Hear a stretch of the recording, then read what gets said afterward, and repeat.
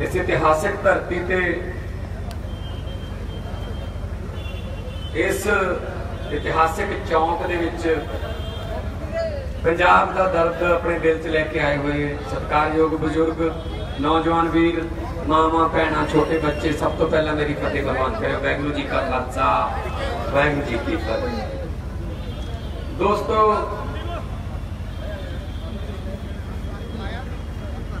ਅੱਜ ਜਦੋਂ ਮੈਂ ਆ ਰਿਹਾ ਸੀ, ਬਰਨਾਲੇ ਵੱਲੋਂ, ਤਾਂ ਰਾਏਕੋਟ ਦੇ ਵਿੱਚ ਬਹੁਤ ਮੀਂਹ ਪਿਆ ਹੋਇਆ ਸੀ। ਪਾਣੀ ਪਾਣੀ। ਜਦੋਂ ਬੱਸੀਆਂ ਰੋਡ ਤੇ ਆਏ, ਉਦੋਂ ਵੀ ਪਾਣੀ। ਤਾਂ ਮੈਨੂੰ ਇਹ ਗੱਲ ਯਾਦ ਆਈ, ਮੈਂ ਕਿਹਾ ਉਸੇ ਜਗ੍ਹਾ ਤੇ ਪ੍ਰੋਗਰਾਮ ਰੱਖੀ ਬੈਠੇ ਆ ਮੈਨੂੰ ਲੱਗਦਾ ਅੱਜ ਫੇਰ ਪਜਾਮਾ ਟੰਗਣਾ ਪੈਣਾ। ਸ਼ੁਕਰ ਹੈ, ਇੱਥੇ ਜੇ ਤੱਕ ਹੀ ਸੀ ਜ਼ਿਆਦੇ ਨਹੀਂ ਸੀ। ਬਚਾ ਹੋ ਗਿਆ। ਇਸੇ ਜਗ੍ਹਾ ਤੇ ਜਦੋਂ ਮੈਂ ਆਇਆ ਸੀ, ਮੈਨੂੰ ਯਾਦ ਹੈ। ਔਰ, ਹਾਂਜੀ। ਸੋ, ਵੀਰੋ, ਜਗਰਾਮਾ ਜਦੋਂ ਆਏ ਆ, ਤੁਸੀਂ ਹਰ ਵਾਰ ਪਹਿਲਾਂ ਨਾਲੋਂ ਵੀ ਜ਼ਿਆਦਾ ਪਿਆਰ ਦਿੱਤਾ, ਇਹਦੇ ਲਈ ਮੈਂ ਤੁਹਾਡਾ ਧੰਨਵਾਦੀ ਹਾਂ। ਮੇਰਾ ਰੋਮ ਰੋਮ ਤੁਹਾਡਾ ਰਹਿਣੀ ਹੈ। ਤੁਹਾਡਾ ਚੱਲਿਆ ਹੋਇਆ ਇੱਕ ਇੱਕ ਕਦਮ ਸਾਡੇ ਸਿਰ ਲੱਗ ਗਿਆ ਜੀ। ਮੇਰੇ ਤੋਂ ਪਹਿਲਾਂ ਬੋਲਦਿਆਂ ਹਾਂ ਲਗਭਗ ਸਾਰੇ ਬੁਲਾਰਿਆਂ ਨੇ ਆਪਣੇ ਆਪਣੇ ਅੰਦਾਜ਼ ਦੇ ਵਿੱਚ ਪੰਜਾਬ ਦੇ ਹਾਲਾਤਾਂ ਨੂੰ ਵਰਣਨ ਕੀਤਾ ਔਰ ਇੱਥੋਂ ਦੀ ਪ੍ਰੈਸ ਬੈਠੀ ਹੈ ਇਲੈਕਟ੍ਰੋਨਿਕ ਮੀਡੀਆ ਬੈਠਾ ਹੈ ਪ੍ਰਿੰਟ ਮੀਡੀਆ ਬੈਠਾ ਹੈ। ਹਰ ਰੋਜ਼ ਉਹ ਵੀ ਆਪਣੀਆਂ ਕਲਮਾਂ ਰਾਹੀਂ, ਆਪਣੇ ਕੈਮਰਿਆਂ ਰਾਹੀਂ ਪੰਜਾਬ ਦੀ ਹਾਲਤ ਨੂੰ ਬਿਆਨ ਕਰਦੇ ਰਹਿੰਦੇ ਨੇ। ਕੋਈ ਬੱਚਾ ਬੱਚਾ ਜਾਣੂ ਵੀ ਇਸ ਗੱਲ ਤੋਂ। ਵੀਰੋ, ਅਸੀਂ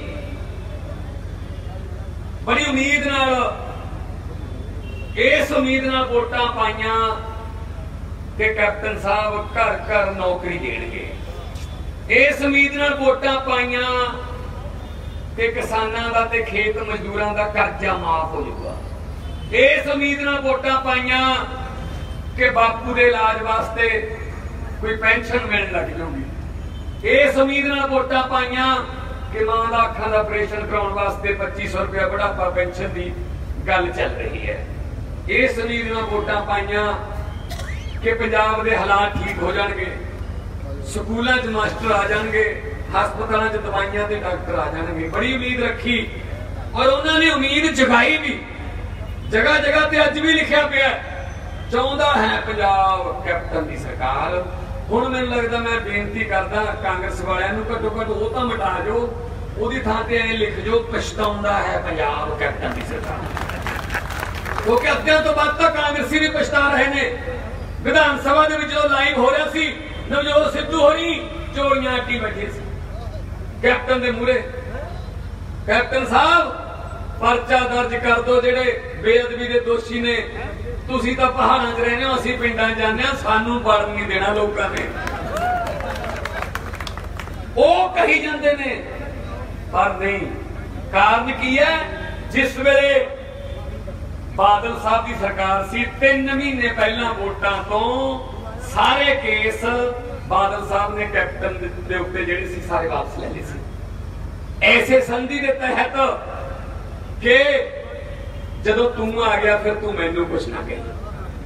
ਐਸੇ ਸੰਧੀ ਦੇ ਤਹਿਤ। ਜਦੋਂ ਪਤਾ ਲੱਗਿਆ ਆਮ ਆਦਮੀ ਪਾਰਟੀ ਦੀ ਹਵਾ ਚੱਲ ਰਹੀ ਹੈ, ਮੈਂ ਜਲਾਲਾਬਾਦ ਤੋਂ ਖੜਾ ਸੀ, ਤਾਂ ਇੱਕ ਸੰਧੀ ਹੋਈ ਕਿ ਵੱਡਾ ਲੀਡਰ ਭੇਜੋ ਜੀ, ਉੱਥੇ ਕੋਈ ਤਾਂ ਕਿ ਕਾਂਗਰਸ ਦੀ ਵੋਟ ਉੱਥੇ ਖੜ ਸਕੇ। ਭਗਵੰਤ ਮਾਨ ਨੂੰ ਹਰਾਉਣਾ ਹੈ ਤੇ ਇੱਕ ਵੱਡਾ ਲੀਡਰ ਹੋਰ ਭੇਜ ਦਿਓ, ਲੰਬੀ ਤੋਂ ਮੈਨੂੰ ਵੀ ਜਿਤਾਉਣਾ ਹੈ।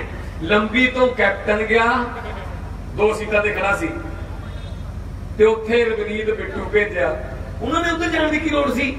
ਕੈਪਟਨ ਸਾਹਿਬ ਤਾਂ ਆਪਦਾ ਵੋਟ ਆਪਦੀ ਸੀਟ ਜਿੱਤੇ ਨੇ। ਪਰ ਤਾਂ ਕਿ ਵੋਟ ਖੜ ਜੇ, ਇੱਕ ਥਾਂ ਤੇ ਜਿੱਤ ਜਾਣ। ਇਸ ਤਰ੍ਹਾਂ ਹੁੰਦਾ ਇਹਨਾਂ ਦਾ ਆਮ ਘਰਾਂ ਦੇ ਧੀਆਂ ਪੁੱਤ ਇਹਨਾਂ ਨੂੰ ਹਜਮ ਨਹੀਂ ਆ ਰਹੇ। ਸਾਡੇ ਤੋਂ ਸੜਦੇ ਨੇ ਕਿ ਆ ਕਿਵੇਂ ਜਿੱਤ ਕੇ ਕੁਲਤਾਰ ਸੰਧਮਾ ਆ ਭੈਣ ਮਾਨੂ ਕੇ ਇਹ ਕਿਵੇਂ ਜਿੱਤ ਕੇ ਸਾਡੇ ਧੀਆਂ ਪੁੱਤ ਜਿੱਤਦੇ ਹੁੰਦੇ ਆ। ਇਸੇ ਗੱਲ ਤੋਂ ਸੜਦੇ ਨੇ ਕਿ ਆਮ ਘਰਾਂ ਧੀਆਂ ਪੁੱਤ ਜਾ ਕੇ ਵਿਧਾਨ ਸਭਾ 'ਚ ਸਾਨੂੰ ਸਵਾਲ ਕਰਨ ਲੱਗੇ ਆਮ ਘਰਾਂ ਦੇ ਧੀਆਂ ਪੁੱਤ ਜਾ ਕੇ ਪਾਰਲੀਮੈਂਟ 'ਚ ਸਾਨੂੰ ਸਵਾਲ ਕਰਨ ਲੱਗੇ ਇਸੇ ਗੱਲ ਦਾ ਸਾੜਾ ਹੈ। ਹੁਣ ਫੇਰ ਕਹਿੰਦੇ ਨੇ, ਕਹਿੰਦੇ ਜਿਵੇਂ ਮਰਜ਼ੀ ਇਕੱਠੇ ਹੋਈਏ। ਆਹ ਹਲਾਈਏ ਦੋ ਚਾਰ ਜਿਹੜੇ ਉੱਥੇ ਬੋਲਦੇ ਨੇ। ਕਿਉਂਕਿ ਬੋਲਣ ਵਾਲੇ ਤੋਂ ਡਰਦੇ ਨੇ। ਤੁਸੀਂ ਦੇਖਦੇ ਹੋਵੋਗੇ ਲੋਕ ਸਭਾ 'ਚ, ਮੇਰਾ ਤਾਂ ਰੋਜ਼ ਕਿਸੇ ਨਾ ਕਿਸੇ ਗੱਲ ਤੇ ਪੇਚਾ ਪਿਆ ਹੀ। ਰਹਿੰਦਾ ਭਾਵੇਂ ਮੈਨੂੰ 2-3 ਮਿੰਟ ਮਿਲਦੇ ਨੇ, ਪਰ 2-3 ਮਿੰਟਾਂ 'ਚ ਹੀ ਮੋਦੀ ਨੂੰ ਪਸੀਨਾ ਆ ਜਾਂਦਾ ਜਦੋਂ ਮੈਂ ਪੁੱਛਦਾ, ਅੱਛੇ ਦਿਨ ਕਬ ਆने ਵਾਲੇ ਨੇ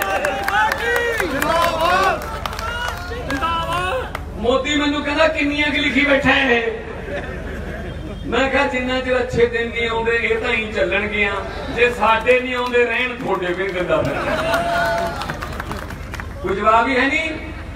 ਕੋਈ ਜਵਾਬ ਨਹੀਂ ਇਹਨਾਂ ਕੋਲੇ। ਕਿਹਦੇ ਅੱਛੇ ਦਿਨ ਆ ਕੇ ਦੱਸ ਦੋ। ਕੀ ਕਹਿੰਦੇ ਸੀ ਮੋਦੀ ਸਾਹਿਬ? ਆਪਦੇ ਪ੍ਰਚਾਰ ਦੇ ਵਿੱਚ। ਪ੍ਰਚਾਰਕ ਤਾਂ ਬਹੁਤ ਵਧੀਆ ਨੇ। ਐਂ ਕੱਲ ਬਣਾ ਲੈਂਦੇ ਨੇ ਵੀ ਹਾ ਹਾ ਪਤਾ ਨਹੀਂ ਹੁਣ ਅੱਗੇ ਕੀ ਹੋਊਗਾ। ਕੀ ਕਹਿੰਦੇ ਅਸੀਂ 100 ਦਿਨ ਦੇ ਵਿੱਚ ਵਿੱਚ 15 15 ਲੱਖ ਰੁਪਇਆ ਹਰੇਕ ਦੇ ਖਾਤੇ 'ਚ ਆ ਜਾਊਗਾ, ਜਿਵੇਂ ਪ੍ਰਧਾਨ ਮੰਤਰੀ ਬਣ ਗਿਆ। ਮੈਨੂੰ ਬੜੀ ਖੁਸ਼ੀ ਨਾਲ ਦੱਸਣਾ ਪੈ ਰਿਹਾ ਕਿ ਜਗਰਾਉਂ ਤੋਂ ਮੈਨੂੰ ਮੈਡਮ ਐਮਐਲਏ ਨੇ ਦੱਸਿਆ ਕਿ ਇੱਥੇ ਜਗਰਾਉਂ 'ਚ ਆ ਗਏ। ਆ ਗਏ? 15 ਲੱਖ। ਹੈ ਜੀ? ਆਏ ਨਹੀਂ 15 ਲੱਖ ਦੀ ਗੱਲ ਛੱਡੋ, ਜਿਹੜੇ ਆਪਣੇ ਘਰਾਂ 'ਚ 2-4000 ਰੁਪਏ ਸੀ, ਉਹ ਵੀ ਨੋਟਬੰਦੀ ਜੀ ਕਰਕੇ ਕੱਢ ਕੇ ਲੈ ਗਏ। ਲੈ ਗਏ ਨਾ? ਬੈਂਕਾਂ ਦੇ ਮੂਹਰੇ ਲਾਈਨ 'ਚ ਕੌਣ ਖੜਾ ਸੀ? ਗਰੀਬ। ਬੈਂਕਾਂ ਦੇ ਮੂਹਰੇ ਲਾਈਨ 'ਚ ਕੌਣ ਖੜਾ ਸੀ? ਦਿਹਾੜੀਦਾਰ। ਬੈਂਕਾਂ ਦੇ ਮੂਹਰੇ ਲਾਈਨ 'ਚ ਕੌਣ ਖੜਾ ਸੀ? 90 90 ਸਾਲ ਦੀਆਂ ਮਾਵਾਂ ਜਿਨ੍ਹਾਂ ਨੇ ਕਦੇ ਬੈਂਕ ਨਹੀਂ ਦੇਖੀ ਸੀ। 150 ਬੰਦਾ ਭਾਰਤ ਦਾ ਬੈਂਕਾਂ ਦੇ ਮੂਹਰੇ ਲਾਈਨਾਂ 'ਚ ਮਰ ਗਿਆ। ਇਹ ਕਿਹਾ ਜਾ ਕਾਨੂੰਨ ਹੈ ਬਈ ਜਿਹੜਾ ਸਾਡੇ ਭਾਰਤ ਦੇ ਨਾਗਰਿਕਾਂ ਦੀ ਜਾਨ ਲੈਂਦਾ ਮੈਂ ਪਾਰਲੀਮੈਂਟ 'ਚ ਪੁੱਛਿਆ ਸੀ। ਅਜਨਾਲੇ ਕੋਲੇ ਇੱਕ ਪਿੰਡ ਹੈ। ਉੱਥੋਂ ਦੀ ਇੱਕ ਕੁੜੀ ਦਾ ਵਿਆਹ ਸੀ 4 ਦਸੰਬਰ ਦਾ। ਘਰੇ ਵੀ ਜਾ ਕੇ ਆਏ ਸੀ ਉਹਦੇ ਅਸੀਂ। ਉਹਦਾ ਬਾਪੂ 10 ਦਿਨ ਜਾਈ ਗਿਆ ਬੈਂਕ 'ਚ, ਮੇਰੀ ਕੁੜੀ ਦਾ ਵਿਆਹ, ਪੈਸੇ ਦੇ ਦਿਓ ਪੈਸੇ ਨਹੀਂ ਮਿਲੇ। ਹਲਵਾਈਆਂ ਦੀਆਂ ਪਰਚੀਆਂ ਵੀ ਲੈ ਗਿਆ, ਟੈਂਟ ਵਾਲਿਆਂ ਦੀਆਂ ਪਰਚੀਆਂ ਵੀ ਲੈ ਗਿਆ, ਪੈਸੇ ਦੇ ਦਿਓ ਬੈਂਕ ਵਾਲੇ ਕਹਿੰਦੇ ਸਾਡੇ ਕੋਲ ਹੈ ਹੀ ਨਹੀਂ। ਵਿਆਹ ਤੋਂ 2 ਦਿਨ ਪਹਿਲਾਂ ਜਦੋਂ ਪੈਸੇ ਨਹੀਂ ਮਿਲੇ, ਹਲਵਾਈ ਦਾ ਫੋਨ ਆ ਗਿਆ ਕਿ ਮੈਂ ਤਾਂ ਕਿਤੇ ਹੋਰ ਸਾਈ ਫੜ ਲਈ, ਤੂੰ ਪੈਸੇ ਨਹੀਂ ਦੇ ਸਕਿਆ। ਟੈਂਟ ਵਾਲਾ ਵੀ ਕਹਿੰਦਾ, ਮੈਂ ਤਾਂ ਕਿਤੇ ਹੋਰ ਬੁੱਕ ਕਰ ਲਿਆ ਪ੍ਰੋਗਰਾਮ, ਤੂੰ ਪੈਸੇ ਨਹੀਂ ਦੇ ਸਕਿਆ। ਉਹਨੇ ਆਖਿਆ, ਸ਼ਰੀਕੇ 'ਚ ਮੇਰੀ ਨੱਕ ਕਰ ਦਿਓ, ਖੇਤ ਗਿਆ ਤੇ ਫਾਹਾ ਲੈ ਲਿਆ। ਉਹਦੀ ਭੈਣ, ਉਹਦੀ ਜਿਹੜੀ ਬੇਟੀ ਸੀ, ਉਹ ਕਹਿੰਦੀ, ਇਹਦੇ 'ਚ ਮੇਰਾ ਕੀ ਕਸੂਰ ਹੈ ਹੁਣ? ਸਰਕਾਰਾਂ ਨੇ ਕੌਣ ਜ਼ਿੰਮੇਵਾਰ ਹੈ ਇਸ ਮੌਤ ਵਾਸਤੇ? ਇਸ ਘਰ 'ਚੋਂ ਮੇਰੀ ਡੋਲੀ ਉੱਠਣੀ ਸੀ, ਪਰ 2 ਦਿਨ ਪਹਿਲਾਂ ਇਸ ਘਰ 'ਚੋਂ ਮੇਰੇ ਬਾਪੂ ਦੀ ਅਰਥੀ ਉੱਠੀ ਹੈ। ਕੌਣ ਜ਼ਿੰਮੇਵਾਰ ਇਹਦੇ ਵਾਸਤੇ? ਉਹ ਜੋ ਜ਼ਿੰਮੇਵਾਰ ਹੈ ਉਹ ਜਿਹੜਾ ਇੰਟਰਨੈਸ਼ਨਲ ਗੱਪੀ ਹੈ ਨਾ ਜਦੋਂ ਚੜਦਾ ਜਹਾਜ਼ ਇੱਧਰ ਤਾਂ ਆਉਂਦਾ ਹੀ ਨਹੀਂ। ਜਾ ਕੇ ਪਤਾ ਨਹੀਂ ਕਿੱਥੇ ਕਿਹੜੇ ਕਿਹੜੇ ਗੱਪ ਮਾਰਦਾ ਕੀ ਕੀ ਕਰਦਾ ਹੈ। ਪਾਰਲੀਮੈਂਟ ਸਾਡੇ ਵਾਲੇ 'ਚ ਤਾਂ ਆਉਂਦਾ ਹੀ ਨਹੀਂ। ਕਦੇ ਮੰਗੋਲੀਆ ਬੋਲੀ ਜਾਂਦਾ ਹੁੰਦਾ ਕਦੇ ਜਾਪਾਨ, ਕਦੇ ਅਮਰੀਕਾ ਇੱਕ ਦਿਨ ਆਏ, ਖਾਸੇ ਦਿਨਾਂ ਬਾਅਦ ਮੋਦੀ ਸਾਹਿਬ। ਮੈਂ ਪੁੱਛ ਲਿਆ, ਪਹਿਲੇ ਆਉਣ ਸਾਰ ਮੈਂ ਕਿਹਾ, ਭਾਰਤ ਦੀ ਪਾਰਲੀਮੈਂਟ 'ਚ ਵੀ ਸਵਾਗਤ ਹੈ। ਸ਼ੁਕਰ ਹੈ, ਇੱਥੇ ਵੀ ਆਏ ਹੋ। ਕੋਈ 1 ਰੁਪਿਆ ਇਨਵੈਸਟਮੈਂਟ ਆਈ ਹੋਵੇ ਕਿਸੇ ਮੁਲਕ 'ਚੋਂ, ਜਿਹੜੀਆਂ ਜਿਹੜੀਆਂ ਵਿਦੇਸ਼ ਦੀਆਂ ਯਾਤਰਾਵਾਂ ਹੁੰਦੀਆਂ ਨੇ, ਵਪਾਰਕ ਸੰਧੀਆਂ ਕਰਨ ਵਾਸਤੇ ਹੁੰਦੀਆਂ ਨੇ, ਕੋਈ ਆਇਆ ਪੈਸਾ? ਨੋ ਕੁਝ ਨਹੀਂ ਆਇਆ। ਅਮੀਰ ਕੌਣ ਹੋ ਰਹੇ ਨੇ? ਅਮੀਰ ਹੋਰ, ਅਮੀਰ ਹੋ ਰਹੇ ਨੇ। ਗਰੀਬ ਹੋਰ, ਗਰੀਬ ਹੋ ਰਹੇ। ਇੱਥੇ ਵਾਅਦੇ ਕਰਕੇ ਮੁੱਕਰ ਗਿਆ, ਕਾਂਗਰਸ ਮੁੱਕਰ ਗਈ। ਤੇ ਅਕਾਲੀ ਦਲ ਇਸ ਵਕਤ ਕਿਹੜੇ ਮੂੰਹ ਨਾਲ ਜਾਣਗੇ ਲੋਕਾਂ ਕੋਲੇ? ਜਿਹੜੇ ਪੰਥ ਦੇ ਨਾਂ ਤੇ ਸਾਰੀ ਉਮਰ ਵੋਟਾਂ ਲੈਂਦੇ ਰਹੇ, ਅੱਜ ਉਸੇ ਪੰਥ ਨੂੰ ਪਲੀਤ ਕਰਨ ਦੇ ਦੋਸ਼ ਨੇ। ਬਾਦਲ ਸਾਹਿਬ, ਕਿਹੜੇ ਮੂੰਹ ਨਾਲ ਆਉਂਗੇ ਲੋਕਾਂ 'ਚ? ਸ਼ਾਹ ਮੁਹੰਮਦਾ ਦੁਨੀਆ ਤੇ ਕੌਣ ਐਸਾ ਜਿਹਦਾ ਸ਼ੁਰੂ ਦੇ ਵਾਂਗ ਅਖੀਰ ਹੋਵੇ? ਸ਼ੁਰੂ ਦਾ ਧਮਾਕੇ ਨਾਲ ਹੁੰਦੇ ਆ, ਅਖੀਰ ਵੇਲੇ ਆਹ ਜਿਹੜੇ ਕਰੰਕ ਲੱਗੇ ਨੇ ਸਦਮੇ ਨਾਲ ਮੰਜੇ ਤੇ ਪਏ ਨੇ। ਆਓ ਬਾਹਰ ਨਿਕਲੋ, ਦਿਓ ਜਵਾਬ ਹੁਣ ਫਕਰੇ ਕੌਮ। ਆਦਾ ਤੁਹਾਡੇ ਸੰਧਵਾ ਸਾਹਿਬ ਜਦੋਂ ਮੈਂ ਦੇਖਿਆ, ਮੈਂ ਉਦੋਂ ਚੇਨਈ ਸੀਗਾ। ਮੇਰੀ ਪਾਰਲੀਮੈਂਟ ਕਮੇਟੀ ਦੀ ਮੀਟਿੰਗ ਸੀ। ਲਾਈਵ ਦੇਖਿਆ ਵਿਧਾਨ ਸਭਾ ਦਾ। ਪ੍ਰਸਾਰਣ ਉਹਦੇ 'ਚ ਪਤਾ ਲੱਗਿਆ 13 ਐਮਐਲਏ ਨੇ ਕਾਲੀ ਦਲ ਕੋਲੇ। ਸਣੇ ਸੁਖਬੀਰ, ਮਾਂ ਦੇ ਪੁੱਤ ਨੇ ਕਿਸੇ ਨੇ ਅੰਮ੍ਰਿਤ ਛਕਿਆ ਹੋਇਆ। ਆ ਪਾ ਲਓ ਪੰਥ ਨੂੰ ਵੋਟਾਂ। ਪਾਓ। ਇਹ ਹੁਣ ਸ਼੍ਰੋਮਣੀ ਅਕਾਲੀ ਦਲ ਨਹੀਂ, ਇਹ ਹੁਣ ਸਿਰੋਮਣੀ ਅਕਾਲੀ ਦਲ ਹੈ। ਇਹ ਅਕਾਲੀ ਦਲ ਰਹਿ ਗਿਆ ਹੁਣ। ਅਕਾਲੀ ਦਲ ਸੀ ਮਾਸਟਰ ਤਾਰਾ ਸਿੰਘ ਦਾ, ਅਕਾਲੀ ਦਲ ਸੀ ਸੰਤ ਫਤਿਹ ਸਿੰਘ ਦਾ, ਅਕਾਲੀ ਦਲ ਸੀ ਹਰਚੰਦ ਸਿੰਘ ਲੰਗੋਆ, ਜਦੋਂ ਕੁਰਬਾਨੀਆਂ ਹੁੰਦੀਆਂ, ਮੋਰਚੇ ਲੱਗਦੇ ਸੀ। ਇਹ ਇਹ ਅਕਾਲੀ ਦਲ ਬੱਸਾਂ ਵਾਲਾ ਅਕਾਲੀ ਦਲ, ਢਾਬਿਆਂ ਵਾਲਾ ਅਕਾਲੀ ਦਲ, ਕੇਬਲ ਟੀਵੀਆਂ ਵਾਲਾ, ਚਿੱਟੇ ਵਾਲਾ ਅਕਾਲੀ ਦਲ। ਇਹ ਅਕਾਲੀ ਦਲ ਹੁਣ। ਇਹਨਾਂ ਤੋਂ ਕੋਈ ਉਮੀਦ ਨਾ ਰੱਖਿਓ ਵੀਰੋ। ਸਭ ਰਲੇ ਹੋਏ ਨੇ ਆਪਸ ਚ। ਠੀਕ ਆ ਬਾਦਲ ਸਾਹਿਬ, ਤੁਸੀਂ ਵੱਡੇ ਬੰਦੇ ਹੋ। ਕੈਪਟਨ ਨਾਲ ਤੁਹਾਡੀ ਯਾਰੀ ਹੈ। ਤੁਸੀਂ ਕੇਸ ਨੂੰ ਕਮਜ਼ੋਰ ਕਰਾ ਲਓਗੇ ਬੇਅਦਬੀ ਵਾਲੇ ਨੂੰ। ਤੁਸੀਂ ਵਕੀਲ ਮਹਿੰਗੇ ਕਰ ਲਓਗੇ। ਤੁਸੀਂ ਹਿੰਮਤ ਸਿੰਘ ਵਰਗੇ ਗਵਾਹਾਂ ਨੂੰ ਮੁਕਰਾ ਲਓਗੇ। ਤੁਸੀਂ ਇਸ ਕਚਹਿਰੀ ਦੇ ਵਿੱਚੋਂ ਤਾਂ ਸ਼ਾਇਦ ਕਿਸੇ ਹੋ- ਧਰਤੀ ਦੀ ਕਿਸੇ ਕਚਹਿਰੀ ਤੋਂ ਤਾਂ ਸ਼ਾਇਦ ਬਰੀ ਹੋ ਜਾਓਗੇ, ਪਰ ਬਾਦਲ ਸਾਹਿਬ ਪਰਮਾਤਮਾ ਵਾਲੀ ਕਚਹਿਰੀ 'ਚ ਕਿਹੜਾ ਵਕੀਲ ਲੱਗੂਗਾ ਤੁਹਾਨੂੰ। ਉੱਥੇ ਤੁਹਾਨੂੰ ਅਮਲਾਂ ਦੇ ਨਵੇੜੇ ਹੋਣਗੇ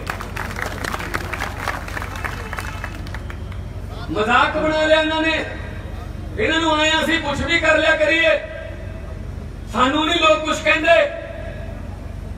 ਅੱਜ ਵੀ ਬਰਗਾੜੀ ਤੇ ਬਹਿਬਲ ਦੇ ਵਿੱਚ ਧਰਨੇ ਚੱਲ ਰਹੇ ਨੇ। ਫਿਰਦੇ ਬਲੂੰਦਰੇ ਗਏ ਨੇ। ਪਾਰਲੀਮੈਂਟ ਦੇ ਵਿੱਚ ਮੈਂ ਐਫ ਆਈ ਆਰ ਦਿਖਾਈ ਸੀ।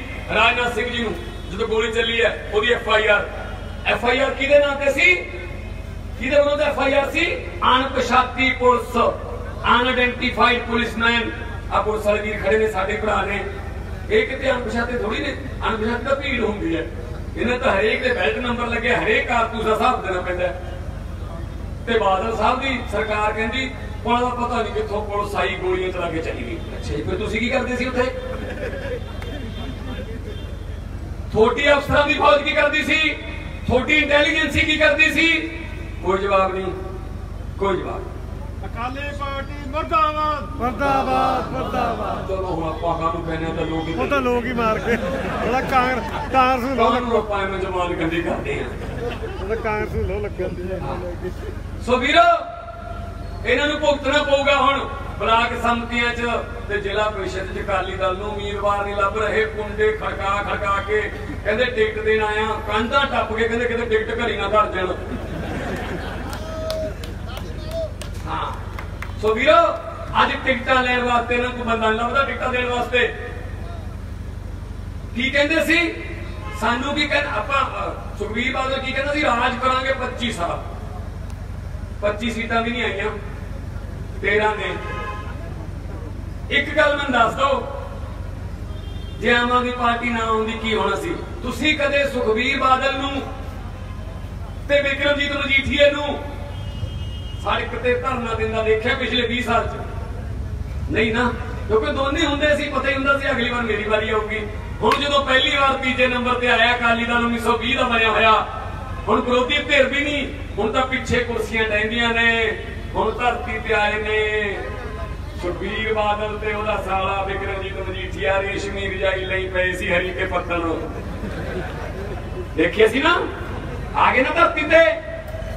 ਇਹ ਲੋਕ ਲਿਆਉਂਦੇ ਲੋਕ ਪਬਲਿਕ ਤੁਸੀਂ ਲਿਆਉਂਦੇ ਸੀ ਰਾਇ ਤੁਹਾਨੂੰ ਲਿਆਉਂਦਾ ਐਂ ਥੱਲੇ ਆਉਣਗੇ ਧਰਤੀ ਤੇ। ਇਹਨਾਂ ਨੂੰ ਆਇਆ ਪਤਾ ਨਹੀਂ ਹੋਰ ਕੋਈ ਜਿੱਤੇ ਨਹੀਂ ਹੁੰਦਾ। ਅਸੀਂ ਜਿੱਤੇ ਹੁੰਦੇ ਆ।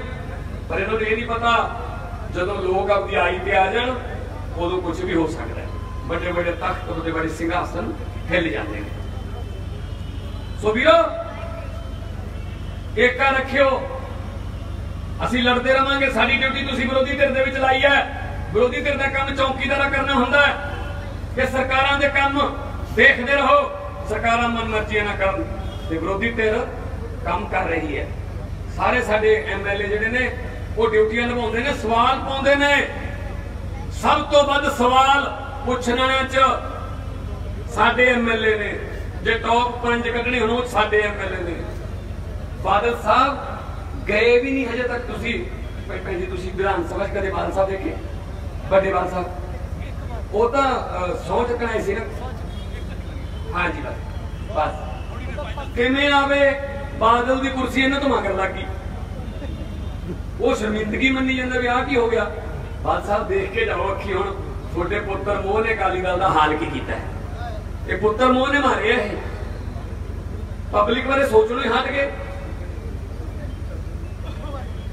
ਲੋਕ ਕਹਿੰਦੇ ਸੀ ਪਹਿਲਾਂ ਪਿੰਡਾਂ 'ਚ ਕਿਹਨੂੰ ਵੋਟ ਪਾਉਂਗੇ ਜਦੋਂ ਪੁੱਛਿਆ ਜਾਂਦਾ ਸੀ ਕਹਿੰਦੇ ਸੀ ਬਾਬੇ ਨਾਨਕ ਦੀ ਤੱਕੜੀ ਨੂੰ ਪਾਵਾਂਗੇ। ਉਹਨੂੰ ਬਾਬੇ ਨਾਨਕ ਦੀ ਕਹਿੰਦੇ ਸੀ। ਮੈਂ ਬਜ਼ੁਰਗ ਨੂੰ ਆਖਿਆ ਮੈਂ ਕਿ ਹੁਣ ਬਾਬੇ ਨਾਨਕ ਦੀ ਨਹੀਂ ਬਾਪੂ ਹੁਣ ਤਾਂ ਬਾਦਲ ਕਾਲੀ ਤੱਕੜੀ ਹੈ ਤਾਂ ਚਿੱਟਾ ਤੋਂਦੀ ਹੈ। ਬਾਬੇ ਨਾਨਕ ਵਾਲੀ ਤੱਕੜੀ ਤੇਰਾ ਤੇਰਾ ਤੋਲਦੀ ਸੀ। ਬਾਦਲ ਕਾਲੀ ਮੇਰਾ ਮੇਰਾ ਤੋਲਦੀ ਹੈ ਬੱਸਾਂ ਵੀ ਇਹਨਾਂ ਦੀਆਂ, ਢਾਬੇ ਵੀ ਇਹਨਾਂ ਦੇ, ਰੇਤੇ ਦੀਆਂ, ਖੱਡਾਂ ਵੀ ਇਹਨਾਂ ਦੀਆਂ। ਕੋਈ ਛੱਡਿਆ ਹੀ ਨਹੀਂ, ਭਾਵੇਂ ਸਮੋਸਿਆਂ ਦੀ ਰੇੜੀ ਚੱਲਦੀ ਹੋਵੇ, ਕਹਿੰਦੇ ਹਿੱਸਾ ਪਾ ਲਓ। ਨਾਲ ਲੈ ਕੇ ਜਾਓਗੇ। ਪਤਾ ਨਹੀਂ ਤਾਂ ਬਾਦਲ ਹੋਰਾਂ ਦੀ ਗੱਲ ਹੋ ਗਈ, ਧਰਮਰਾਜ ਨਾਲ ਵੀ ਤੁਹਾਡੇ ਵਾਲੇ ਪੈਸੇ ਨਾਲ ਆ ਸਕਦੇ ਨੇ। ਹੋਰ ਇੰਨੇ ਕਿੰਨੇ ਕਮਾਉਣੇ ਹੁੰਦੇ ਨੇ? ਇੰਨੇ ਕਿੰਨੇ ਕੁ ਚਾਹੀਦੇ ਹੁੰਦੇ ਨੇ? ਕਿਉਂ ਗਰੀਬਾਂ ਦੀ ਹਾਲ ਲੈਂਦੇ ਹੋ? ਜਿਤਨੇ ਮਰਜ਼ੀ ਇਕੱਠੇ ਕਰ ਲੋ ਪੈਸੇ, ਹੀਰੇ, ਮੋਤੀ, ਮਗਰ ਖਿਆਲ ਇਤਨਾ ਰਹੇ, ਕਫਨ ਪੇ ਜੇਬ ਨਹੀਂ ਹੋਤੀ। ਸਭ ਕੁਝ ਇੱਥੇ ਰਹਿ ਜਾਂਦਾ ਹੈ। ਜਿਹੜਾ ਆਖਰੀ ਕੱਪੜਾ ਮਿਲਦਾ ਨਾ ਬੰਦੇ ਨੂੰ, ਉਹ ਤੇ ਸਿਉਣ ਨਹੀਂ ਵੱਜੀ ਹੁੰਦੀ ਉਹ ਆਈ ਹੁੰਦਾ ਬੜੇ ਬੜੇ ਸਿਕੰਦਰ ਆਏ, ਖਾਲੀ ਹੱਥ ਗਏ ਨੇ। ਦੁਨੀਆ ਜਿੱਤ ਕੇ ਵੀ। ਸੋ ਵੀਰੋ ਇਹ ਆਪਸ ਵਿੱਚ ਰਲੇ ਹੋਏ ਨੇ। ਹੁਣ ਅਸੀਂ ਬਲਾਕ ਸੰਮਤੀਆਂ ਪੰਚਾਇਤਾਂ ਲੜ ਰਹੇ ਹਾਂ। ਅਸੀਂ ਤੁਹਾਨੂੰ ਬੇਨਤੀ ਕਰਾਂਗੇ, ਜਿੰਨੇ ਵੀ ਸਾਡੇ ਉਮੀਦਵਾਰ ਨੇ, ਉਹ ਯੰਗ ਮੁੰਡੇ ਨੇ, ਤੁਹਾਡੇ ਆਪਦੇ ਘਰਾਂ ਦੇ ਧੀਆਂ ਪੁੱਤ ਨੇ, ਤੁਹਾਡੇ ਤਾਏ ਨੇ, ਤੁਹਾਡੇ ਚਾਚੇ ਨੇ, ਉਹਨਾਂ ਨੂੰ ਵੋਟਾਂ ਪਾ ਕੇ ਇਹਨਾਂ ਨੂੰ ਧਰਤੀ ਤੇ ਲੈ ਕੇ ਆਓ ਕਿ ਅਸੀਂ ਐਂ ਕਰ ਸਕਦੇ ਹਾਂ। ਜਦੋਂ ਉਹਨਾਂ ਨੂੰ ਜਿਤਾਉਂਗੇ ਤੁਹਾਡੇ ਕੰਮ ਹੋਣ ਲੱਗ ਜਾਣਗੇ। ਵੀ ਦੇਖਿਓ ਕਿਤੇ ਓਏ ਲੋਕ ਸਭਾ ਚ ਬਣਾਈ ਕਰ ਦੇਣਾ। ਵੀ ਦੇਖੋ ਲੋਕਾਂ ਨੂੰ ਕੀ ਕਿਹੜੀ ਕਿਹੜੀ ਗੱਲ ਦੀ ਨਾਰਾਜ਼ਗੀ ਹੈ। ਫੇਰ ਆਉਣਗੇ। ਥੋੜੇ ਤਲਵਾਰ ਤਾਂ ਲਟਕਾਓ, ਨਹੀਂ ਤਾਂ ਨੂੰ ਐ ਲੱਗਦਾ ਅਸੀਂ ਜਿੱਤਾਂਗੇ ਅਸੀਂ ਜਿੱਤਾਂਗੇ। ਇਸੇ ਚੱਕਰ 'ਚ ਪਹਿਲਾਂ ਵਿਕਾਸ ਨਹੀਂ ਹੋ ਸਕਿਆ। ਜਦੋਂ ਵਿਰੋਧੀ ਪਾਰਟੀ ਆਉਂਦੀ ਹੈ ਨਾ, ਐ ਹੁੰਦੀ ਹੈ ਚੜੀ ਬੱਦਲ ਵਾਂਗੂ, ਉਦੋਂ ਸਰਕਾਰਾਂ ਨੂੰ ਫਿਕਰ ਹੁੰਦਾ ਕੁਝ ਕਰੀਏ। ਉਦੋਂ ਫਿਕਰ ਹੁੰਦਾ। ਸੋ ਵੀਰੋ, ਤੁਹਾਡੇ ਕੋਲੇ ਮੈਂ ਆਇਆ ਅੱਜ। ਇਹੀ ਕਹਿਣ ਆਇਆ, ਮੈਂ ਤਾਂ ਮੈਂ ਤਾਂ ਤੁਹਾਡੇ ਵਰਗਾ ਹੀ ਹਾਂ। ਪਾਰਲੀਮੈਂਟ ਦੇ ਵਿੱਚ ਮੇਰੀ ਡਿਊਟੀ ਹੈ। ਮੈਂ ਨਿਭਾ ਰਿਹਾ।